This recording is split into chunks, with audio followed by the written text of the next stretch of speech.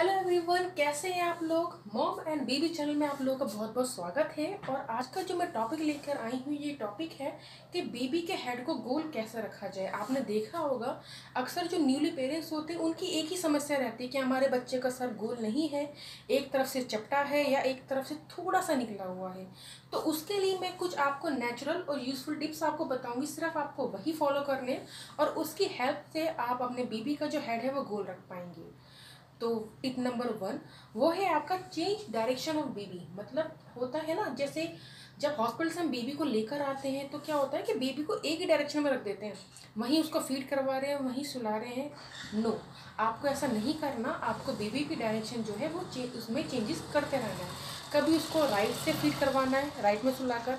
कभी लेफ़्ट में सुला कर फ़ीड करवाना है इस तरह से उसकी डायरेक्शन आपको चेंज करते रहना है जो कि बहुत ज़्यादा ज़रूरी है और इसकी हेल्प से आप का जो बेबी है, उसका हेड गोल रहता है। टिप नंबर टू जो है, वो है आपका पिलो ऑफ़ सरसों शीट्स आपने देखा होगा, आपको मार्केट में इजीली अवेलेबल हो जाएगा जैसे पिलो होता है। जैसे हमारे लिए होता है, हम सर रख कर सोते हैं, वैसे छोटे से बेबी का पिलो होता है। कॉटन का आप इनफैक्ट घर में बना सकते हैं, उसके अंदर आप सरसों के दाने डाल के बना सकते हैं। जब आप उसे बेबी के सर के नीचे रखेंगे तो बेबी जब कभी राइट में देखेगा या फिर कभी वो लेफ़्ट में देखेगा तो जिस डायरेक्शन में देखेगा, उस डायरेक्शन के अकॉर्डिंग सरसों के दानों में मूवमेंट होती रहेगी।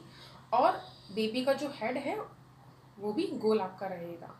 टिप नंबर थ्री जो है, वो है आपका टमी टाइम टमी टाइम क्या होता है कि आपको बेबी को कुछ टाइम के लिए, जब वो टू मंथ से ऊपर का हो जाए, उसके बाद आपको करना है। उससे पहले आपको नहीं करना आपको ये करना होगा कि बेबी को कुछ टाइम के लिए आपको पेट के बल लिटाना होगा। तो पेट के बल लिटाने के बाद जब बच्चा अपना थोड़ा सा अपना सर को संभालना सीखता है तो वो कभी इधर देखता है, कभी ऐसे का देखता है, कभी ऐसे देखता है तो इस मूवमेंट से भी बेबी का जो हेड है, वो गोल रहता है। टिप नंबर थ्री है आपका take baby on shoulder means आपको बेबी को हर वक्त लेटे नहीं रहने देना है, कुछ टाइम के लिए शोल्डर पे लेकर उसे घूमना है।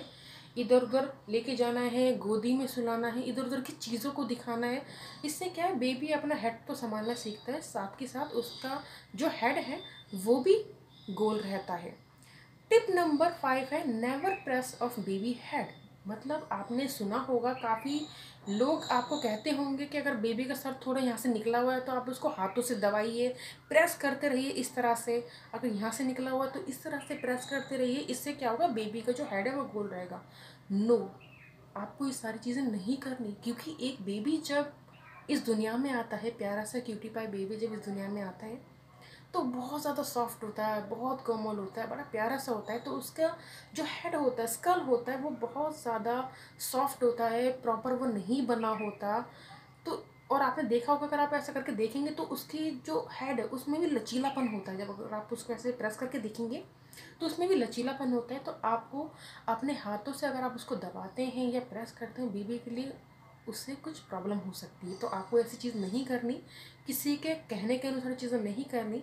जो नेचुरल और यूज़फुल टिप्स मैंने आपको बताई, सिर्फ़ और सिर्फ़ आपको वही फॉलो करने हैं और उसी की हेल्प से ही आपके बेबी का हेड गोल हो जाएगा। ये मेरा पर्सनल एक्सपीरियंस है, जो मैं आप लोगों के साथ शेयर कर रही हूँ।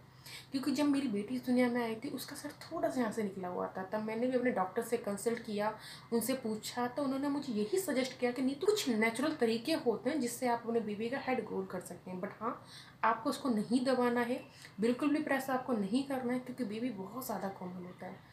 तो जितने भी न्यूली पेरेंट्स हैं मेरी उन सबसे हम्बल रिक्वेस्ट है प्लीज़ प्लीज़ प्लीज़ जो नेचुरल टिप्स मैंने आपको बताया इसी तरीके से बेबी के हेड को आप गोल कीजिएगा और कोई आपको टिप उसमें नहीं इंक्लूड करना है, क्योंकि जो चीज़ें मैं आपको बता रही हूँ, ये मेरा पर्सनल एक्सपीरियंस है, जो कि मैं आपके लोगों के साथ शेयर कर रही हूँ। जैसा कि मैंने अपने डॉक्टर से पूछा था, उनके अकॉर्डिंग मैं आपको आप ये चीज़ बता पा रही हूँ।